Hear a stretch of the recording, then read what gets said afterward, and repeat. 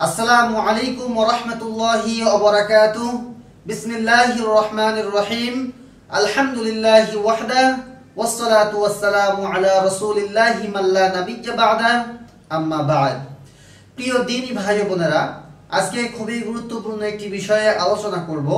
তা হলো যে আল্লাহ তাআলার কাছে কোন ব্যক্তি সর্বাধিক ঘৃণিত? আল্লাহ তাআলা কাকে সবচেয়ে বেশি ঘৃণা করেন? বন্ধুগণ আমরা সকলেই আল্লাহ তালার প্রিয় বান্দা হতে চাই। আল্লাহ তালা আমাদেরকে যেন ভালোবাসেন, আল্লাহ তালা আমাদেরকে যেন রহমত করেন, বরকত দান করেন, জান্নাত দান করেন, এটা আমরা সকলেই চাই।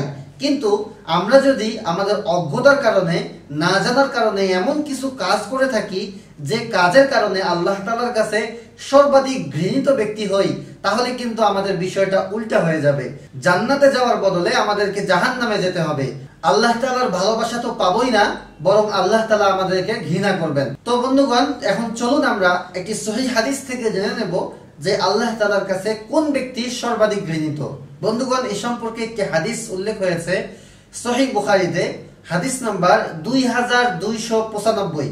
হাদিসটি বর্ণনা করেছেন রাসুল সাল্লাহ আলাইহি ওয়াসাল্লামের অর্ধাঙ্গিনী হজরত আইসা রাজিয়াল্লাহু তাআলা আনহা হজরত আইসা রাজিয়াল্লাহু তাআলা আনহা থেকে বর্ণিত নবী করিম সাল্লাল্লাহু আলাইহি ওয়াসাল্লাম ইরশাদ করেন, আল্লাহর নিকট ওই ব্যক্তি সর্বাধিক ঘৃণিত, যে অধিক ঝগড়াটে।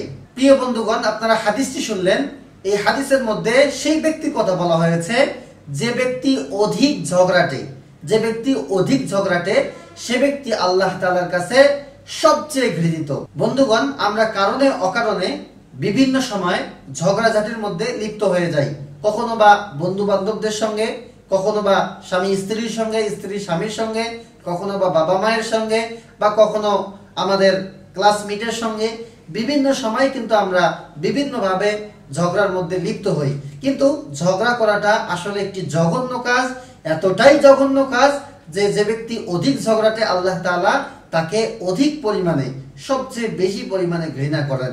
এজন্য বন্ধুগণ আসুন আমরা সকলেই সতর্ক হই, আমরা ঝগড়া ঝাঁটি থেকে দূরে থাকি। আল্লাহ পাক রব্বুল আলামিন আপনাকে, আমাকে, আমাদের সকলকেই ঝগড়া ঝাঁটি থেকে দূরে থাকার তৌফিক দান করুন। আল্লাহ তালা আমাদেরকে হেফাজত করুন। আমিন। বন্ধুগণ আজ এ পর্যন্তই। আমি আশা করি যে এই ভিডিওটি আপনাদের ভালো লেগেছে এবং ভিডিওটি থেকে আপনারা উপকৃত হয়েছেন। বন্ধুগণ, সত্যি যদি আপনাদের কাছে ভিডিওটি ভালো লাগে, তাহলে অবশ্যই আপনার বন্ধু বান্ধবদের সঙ্গে শেয়ার করবেন, যাতে করে সকলেই এই গুরুত্বপূর্ণ হাদিসটি সম্পর্কে জানতে পারে। আর বন্ধুগণ, নিয়মিত যদি আপনারা আমার এই চ্যানেলের সকল ইসলামিক ভিডিও পেতে চান, সুন্দর সুন্দর দোয়া, হাদিস, মাসলা, মাসাইল সম্পর্কে জানতে চান, তাহলে অবশ্যই চ্যানেলটি সাবস্ক্রাইব করে পাশের বেল বাটনটি অন করে রাখবেন। মহান আল্লাহ চাই তো দেখা হবে পরবর্তী কোন একটা ইসলামিক ভিডিওতে। সেই পর্যন্ত আল্লাহ হাফেজ। والسلام عليكم ورحمة الله وبركاته. مولاي صل وسلم دائما أبدا على حبيبك خير الخلق كلهم.